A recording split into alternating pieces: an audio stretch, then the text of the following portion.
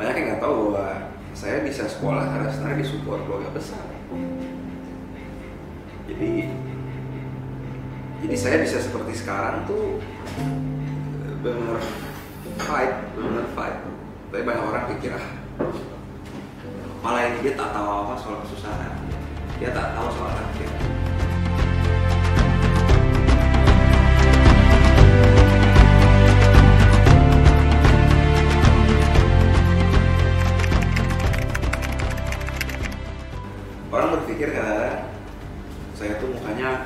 gitu ya.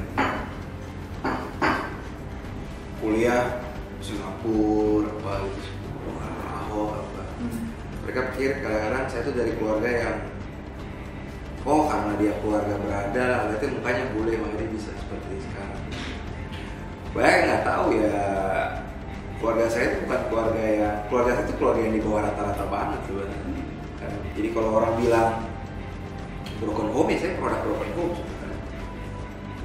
dari umur tiga saya nggak ada bapak sebenarnya ibu saya kerja arsitek tapi sejak di PHK tahun 98 nggak ada kerja tetap sebenarnya. Banyak yang nggak tahu bahwa saya bisa sekolah karena sebenarnya disupport keluarga besar. Jadi jadi saya bisa seperti sekarang tuh benar fight benar fight. Tapi banyak orang pikir ah malah ini dia tak tahu apa soal kesusahan dia tak tahu soal rakyat emang orang ini pernah makan di warung pasti makan di hotel. Ya. Padahal saya warteg adalah hidupku padahal. Tapi banyak nggak tahu. Itu sih yang orang nggak tahu saya. Saya pikir itu sih. Orang kadang-kadang melihat saya dari casing luar Casing aja. luar. jadi begitu dari casing menurut mereka ah ini nggak deket dengan saya.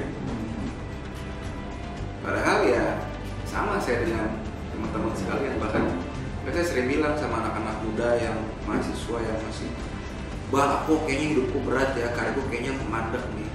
Terus aku bilang HP kau aja tuh waktu zaman kuliah HP dengan HP aku mau dibandingkan gitu ya jauh kali sebenarnya. Baru mereka oh gitu ya artinya harus fight wajada wajar itu saya percaya dan banyak orang juga bilang turun ke Batam masuk politik tuh karena wah ini pasti orangnya Jokowi ini orangnya Ahok. Ada. guru saya tuh satu bu- buku. Jadi saya banyak belajar cara politik eh, knowledge hukum semuanya banyak dari buku. Saya tuh nggak punya mentor. Mentor saya buku. Dari buku. jadi orang bilang ah dia ditanam sama ini aja. Buku. Jadi dari kecil saya itu kalau bicara eh, pakaian apa segala macam nggak ada mewahnya. Tapi yang saya selalu mewah dari ibu saya yang single itu makanan sama buku. Jadi kalau buku ibu saya tuh nggak pernah nawar.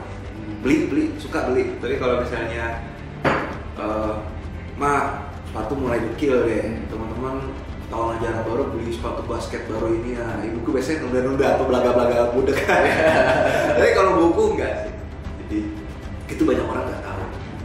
Mereka pikir hidup saya happy happy ya. Ternyata ya ya nggak sedih banget tapi ya banyak sebenarnya yang yang nggak nggak normal. Untuk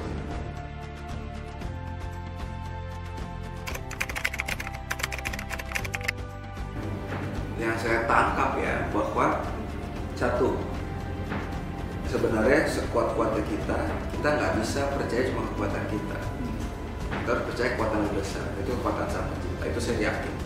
Karena di hidup saya dan keluarga besar saya banyak hal yang kayaknya udah mustahil tapi dengan bantuan sang pencipta itu bisa kejadian. Satu.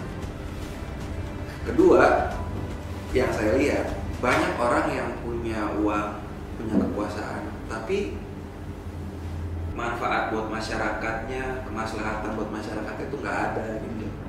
Dan saya semakin terbuka matanya sudah saya Indonesia mengajar di Pulau Rote sebagai guru. Saya guru relawan Indonesia mengajar di Pulau Rote setahun.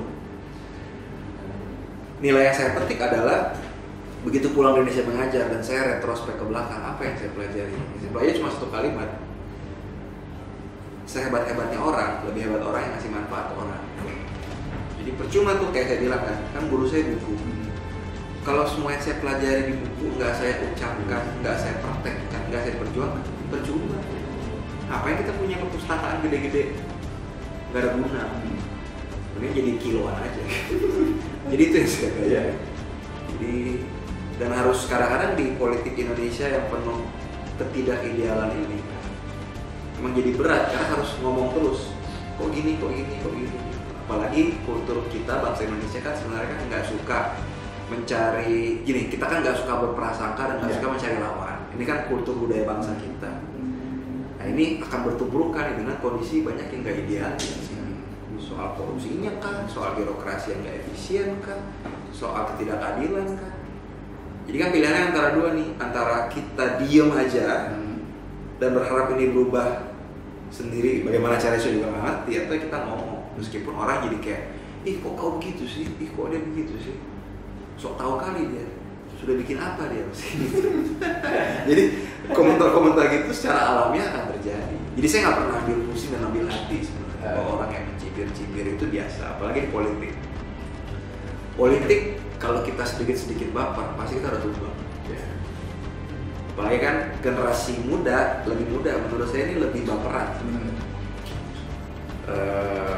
lebih baperan karena mungkin lebih terbuka komunikasi lebih apa persepsi soal diri sendiri itu jadi lebih terbuka secara umum jadi lebih baper lebih menantang lah. Lebih menantang lebih menantang. Tapi happy. Kita bawa senyum aja. Sambil senyum aja. bawa senyum aja